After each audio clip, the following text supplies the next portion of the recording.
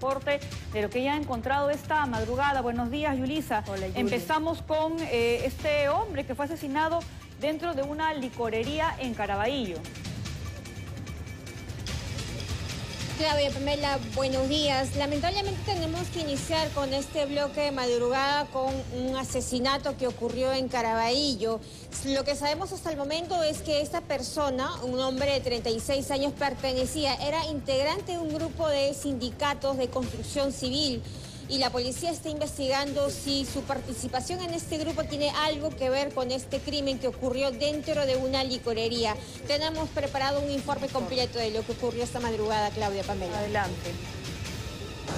En este crimen también la víctima ya ha sido identificada. Él es Eduardo Cabello Olivares de 36 años y la información que estamos manejando es que él fue atacado a balazos cuando se encontraba dentro de esta licorería que se encuentra en la avenida Manuel Prado en Caraballo. Según lo que han comentado los testigos, la víctima estaba en compañía de unos amigos luego de jugar fulbito, acudieron a este lugar hasta que llegó el sicario a bordo de una motocicleta que no ingresó en un primer momento a este negocio. Se estacionó a una cuadra de la licorería, estaba también en complicidad de otra persona y conversó con la víctima. La víctima salió de esta licorería, conversó por algunos minutos y luego nuevamente, en este caso, Eduardo Cabello ingresó a la licorería, pero es en ese instante que el asesino solicita el baño a la dueña de este negocio.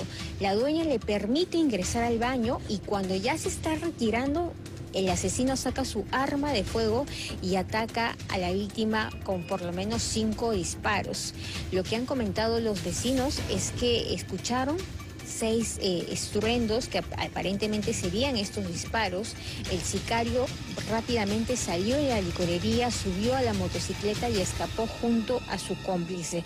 No sabemos hasta el momento si es que él habría recibido amenazas de muerte. Lo que sabemos es que él pertenecía a un grupo de sindicatos de obreros. La policía está manejando esta información para dar con el paradero de estos asesinos que según han comentado también los vecinos, la víctima vivía muy cerca a esta zona. Nosotros estamos a la altura del kilómetro 22 de la avenida universitaria y él vivía aproximadamente en el kilómetro 19 de esta misma avenida en Caraballo. Sabemos también que este negocio tiene cámaras de seguridad tanto adentro como afuera, así que la policía seguramente va a obtener estas imágenes para identificar a este sujeto que no sabemos si es que se estaba cubriendo el rostro. Esa información todavía no ha precisado eh, algún testigo hacia los agentes policiales.